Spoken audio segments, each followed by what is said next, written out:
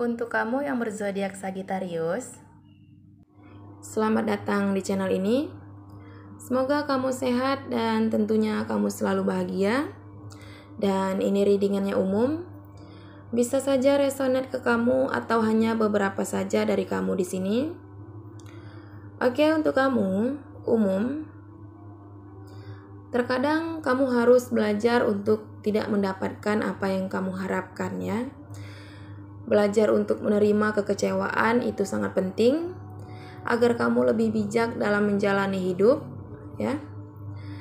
Dan hindari makanan yang terlalu banyak lemak. Cobalah untuk melakukan hidup sehat ya. Dan jangan lupa untuk berolahraga dan minum air putih secukupnya. Asmara untuk kamu yang single, di sini seseorang yang kamu tunggu sepertinya tidak menyadari kehadiran kamu ya. Jadi siap-siap untuk kecewa di sini. Tetapi kamu harus ingat, patah hati bukanlah akhir dari segalanya. Kamu masih banyak memiliki kesempatan untuk bahagia dan menemukan orang yang tepat di sini.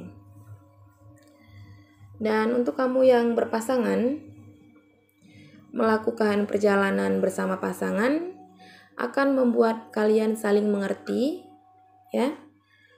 Memang tidak mudah menjalani hubungan dengan latar belakang budaya yang berbeda, tetapi ingat, cinta dapat mengubah segalanya ya. Karir dan keuangan kamu di sini, suasana tempat kerja kamu itu memang sedang tidak kondusif saat ini. Jadi bersikap netral akan menyelamatkan kamu dari drama ya tidak perlu ikut terpro terprovokasi dengan masalah yang saat ini terjadi. Lakukan saja apa yang menjadi tugas kamu sebaik mungkin di sini.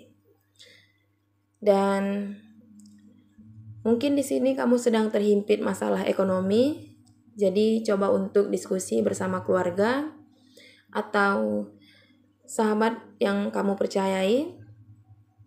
Jadi bijaklah dalam mengelola keuangan tidak perlu menuruti gengsi ya, belanja sesuai kemampuan kamu saja di sini.